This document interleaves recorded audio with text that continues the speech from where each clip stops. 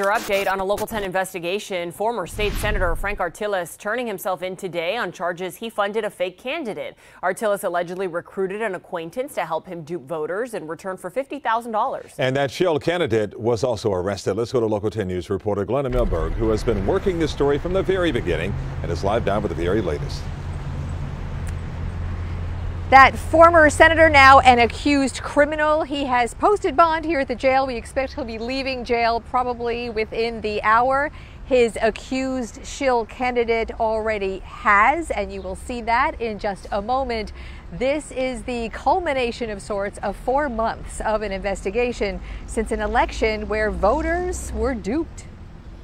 Your lawyer said you were cooperating fully. No comment. Accused shill candidate Alex Rodriguez booked and bonded out late afternoon. What do you say to voters? And in that car, ex state Senator Frank Artiles trying to avoid our camera as he arrives to surrender. We are alleging that November's Florida Senate District 37 election involved crimes. The arrest warrants signed Monday recount how Artiles recruited his old acquaintance via Facebook to quote confuse voters and siphon votes with a covert Republican running as a no-party candidate with the same last name as the Democrat. To use his name to confuse who?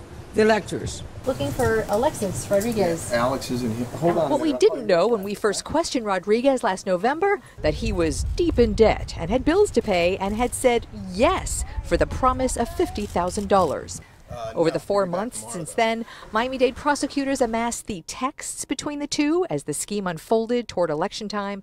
Artiles accused of secretly funding the filings and campaign, also filling Rodriguez's periodic requests for cash out of the safe Artiles kept in his house. These payments were intended to influence the outcome of the election. The arrest warrant shows Rodriguez gave up Artiles the first time he was questioned. His attorney telling us today Artiles cynically targeted and used a vulnerable friend, and that Rodriguez deeply regrets allowing himself to be used in this way and hopes that by coming forth with the truth, he can help to right these wrongs.